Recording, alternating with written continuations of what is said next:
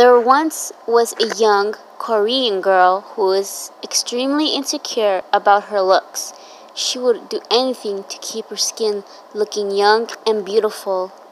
One day, she heard about a new organic beauty treatment from a friend at school. Her friend told her it was very good for the skin, leaving it smooth and silky. The treatment involved mixing sesame seeds in the bath water and immersing in it for a couple of hours. When the girl got home that evening, she decided to try it out.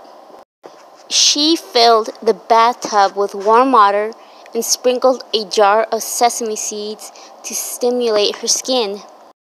Hours passed, and the young girl still didn't emerge from the bathroom. Her parents started to get worried about her, but every time her mother knocked on the door and asked the girl to come out, the reply would always be, Wait a minute, wait a minute. In the end, the mother could no longer contain herself and forced open the bathroom door. When she peered into the bathroom, she was greeted by a horrifying sight. Her daughter was sitting in a corner and her body was covered in little black dots. The sesame seeds had become stuck in her pores. The young girl had a crazed look in her eyes and was frantically trying to pull out the seeds with a toothpick.